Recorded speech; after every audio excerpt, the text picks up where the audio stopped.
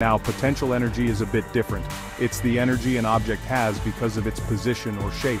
It's the energy an object has due to its position or shape. This energy is stored and ready to be used. It's like stored energy just waiting to be unleashed.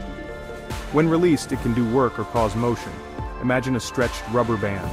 When you stretch it you're storing potential energy in the rubber band. When you stretch it, you're storing potential energy in the rubber band.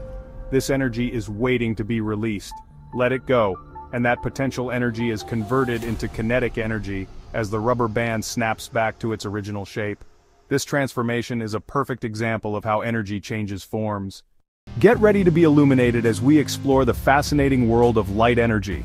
Light energy is a special kind of energy that travels in waves. It's the reason we can see the world around us. Unlike some other forms of energy, light energy doesn't need anything to travel through. It can zoom through the vacuum of space at an incredible speed, which is why we can see the light from stars that are trillions of miles away. But light energy isn't just about seeing, it plays a vital role in many natural processes.